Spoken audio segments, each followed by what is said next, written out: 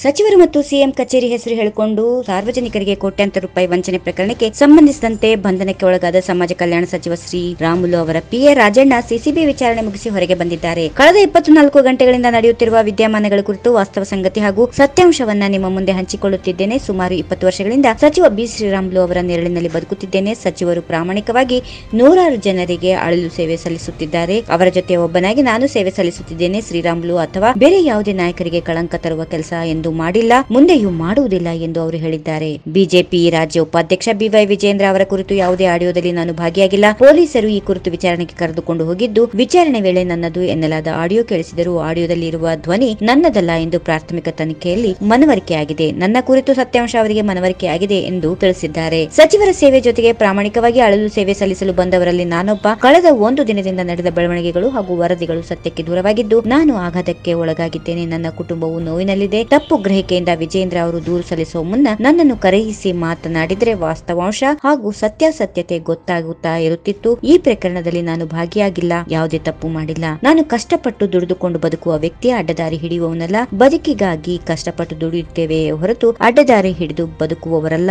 ಎಂದು ಸ್ಪಷ್ಟನೆ ನೀಡಿದ್ದಾರೆ. ಈ ವಿಡಿಯೋ ನಿಮಗೆ ಇಷ್ಟವಾದಲ್ಲಿ ಲೈಕ್ ಮಾಡಿ, ಶೇರ್ ಮಾಡಿ, ಸಬ್ಸ್ಕ್ರೈಬ್ ಮಾಡಿ.